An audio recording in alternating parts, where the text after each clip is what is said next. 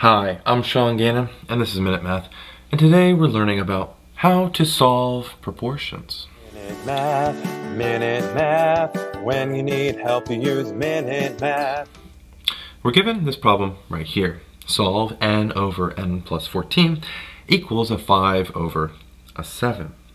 Now the first thing I want to do here is determine what n cannot equal. And that comes really from our denominator right here. We're not allowed to divide by zero in mathematics, and so a negative 14 in for our n value creates a zero in that denominator, and we can't have that. So it's good to note that sometimes when we simplify or solve this, that knowledge gets lost at the end, so we have to note it in the beginning. All right, now from here, I want to find the least common denominator between both of these fractions. We have an n plus 14 and a 7, and that's really our answer for us. It's 7 times n plus 14. So I'm going to rewrite this fraction, n over n plus 14, and I'm going to multiply it by a 7 times an n plus 14. If I can write a 14 here.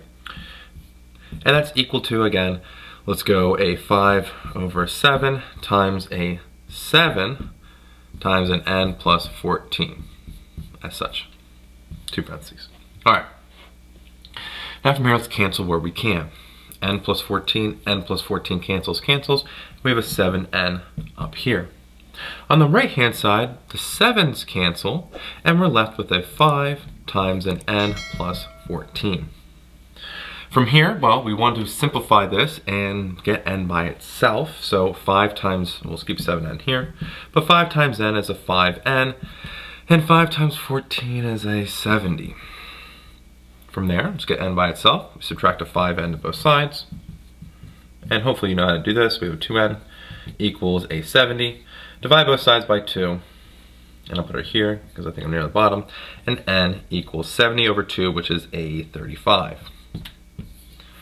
Let's go check that. All right. Luckily, it wasn't 14, negative 14, so we're good. But we want to check to make sure that 35 is our correct answer.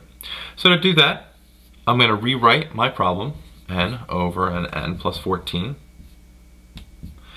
equals a 5 sevenths.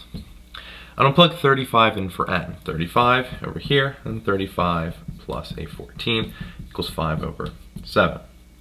35 plus 14 is a 49, so we have 35 over a 49 equals 5 sevenths.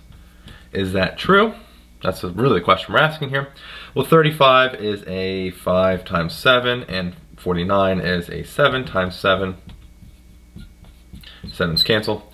And we have a 5 sevenths equals a 5 sevenths. And so yes, the left and right hand side are equal, confirming that a solution to our proportion here is n equals a 35. I hope you learned something here on how to solve proportions, and if you did, make sure you like this video and subscribe to our YouTube channel. This helps us make more of these free math lessons for you and for everyone else. So as always, thanks for watching.